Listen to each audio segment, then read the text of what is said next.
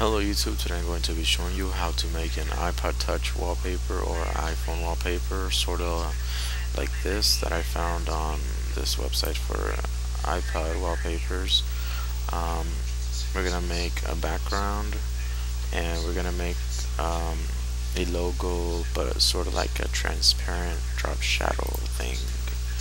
So first you want to go to Google, type in iPod Touch wallpapers, and just find one that we can use just for a template um, so that we can get the right size and dimensions for it. So just get an image, drag it to your desktop, and it should be okay.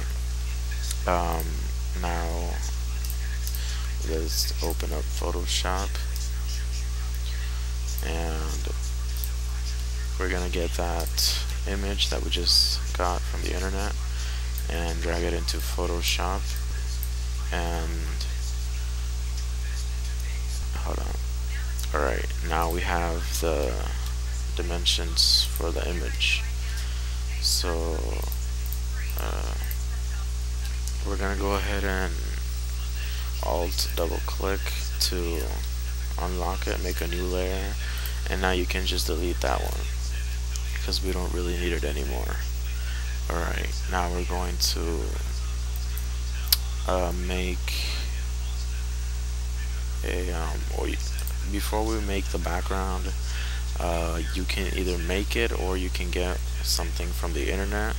Uh, you can just type in desktop backgrounds um, or just go to images and type in abstract and find something you like or you can just get whatever you want. But I'm gonna be using one that I already have on my computer so we're gonna go ahead and file place and choose your image. Alright now you can just place it on the canvas uh, to your liking. Uh, alright like this hit enter and it should stay like that. And by the way these lines I don't know how they got here. I'm not sure how to get them off so whatever. Alright now make a new layer and now you're gonna want to you want to get your logo. So I chose an app logo. Uh, what we're gonna have to do uh, is go to Google and type in uh, transparent Apple logo and it can be whatever you want. You can even make it in Photoshop right? You want to get a transparent PNG file with no background and then you just want to drag it to your computer. And now uh, with the new layer you created uh, go to file place and select it. And we're just gonna leave it at that. And these things here uh, we're gonna erase it and just have like a transparent thing so to do that, right click on it, go to blending options, and let me just put this over here. Alright, go to um, go to drop shadow and make sure you make this to multi normal I mean alright normal. And then you can adjust the angle where the drop shadow uh, I'm gonna have it like that.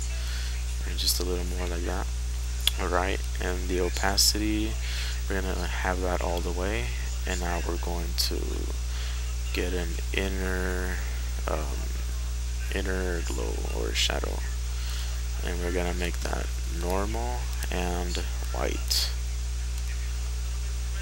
And you can adjust the opacity later um, alright so hit OK now to erase everything and just keep like the transparent window thing go to fill and put it all the way to zero. Now you can see we have a really cool effect here and always you can go back into the blending options and change your drop shadow your inner shadow to maybe less. I'm gonna leave it like that and hit OK. Boom before we go on let's go back there and save the style. Go to styles and new style and call, I'm just gonna call it crystal. And make sure you have these checked so it'll include all the effects and stuff. Alright okay. And now you can see it here. Hit ok now you have it saved to your computer and you can apply it to anything you want. So now we're just gonna add some text. So make a new layer and click on the text icon and just make some text. Okay and press ctrl T to resize the text.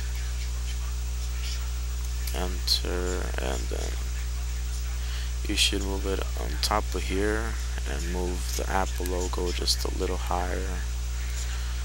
Um, just so that when you're on your iPod you can see the slide to unlock here and this will be on top of that. Now we want to select our um, text layer right click and go to blending options and we're going to apply the same style that we did to the apple here. So go to styles up here. And this is the reason we made this for. Just click on here. And now the text should look like that. But we want to lower the inner shadow just a little bit. So you can see more transparent effect there. Alright hit ok. And there you go. You have your nice background like that. But we're gonna um, make one. So go ahead and make click here and make a new layer on top of that. And don't delete this yet right now. Um, we're gonna make a square or rectangle. Hit enter. And now you can delete that. Just hit delete. Alright we're gonna right click blending options and uh, let's do a color overlay.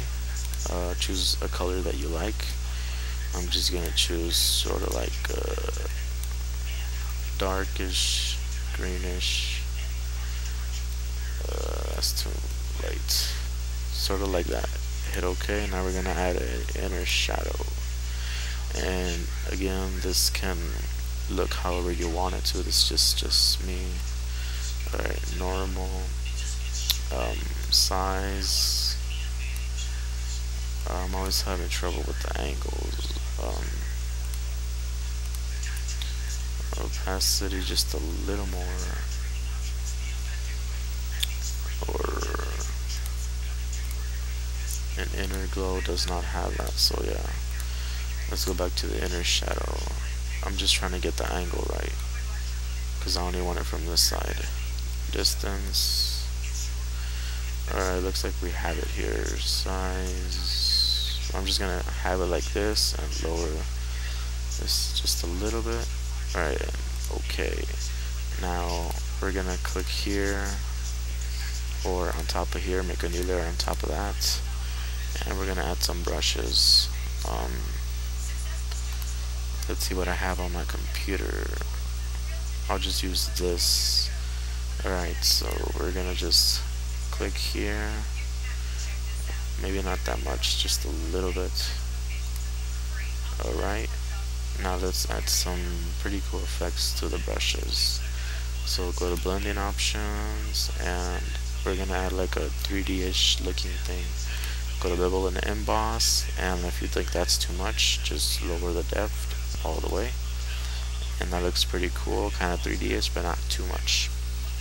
Alright and you can either do a color overlay for just one color to change it or gradient overlay for more than one color on the brush. I'm gonna just have it at blue and black. Okay that looks pretty nice I guess. And you know you can add anything else you want. You can even do the styles and apply the crystal thing effect to those but that looks really weird. So just um, do that crap I can't do it so yeah I'm just gonna leave it at this right now and I'll just go ahead and file save as and PNG, JPEG, whatever, and then just uh, sync it to your iPod through iTunes and whatever, and there you go. Alright, so if you like this tutorial, please rate, comment, and subscribe, and goodbye.